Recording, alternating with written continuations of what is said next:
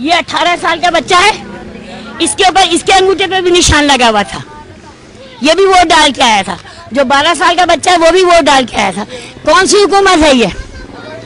अगर कोई पकड़ा जाए यहाँ तो जमानत लेने वाला यहाँ का कोई ये अठारह साल का बच्चा है। इसके ऊपर, इसके अंगूठे पे भी निशान लगा हुआ था। ये भी वोट डाल के आया था। जो बारह साल का बच्चा है, वो भी वोट डाल के आया था। कौन सी हुकूमत है ये? अगर कोई पकड़ा जाए यहाँ तो जमानत लेने वाला यहाँ का ये अठारह साल का बच्चा है। इसके ऊपर, इसके अंगूठे पे भी निशान लगा हुआ था। ये भी वोट डाल के आया था। जो बारह साल का बच्चा है, वो भी वोट डाल के आया था। कौन सी हुकूमत है ये?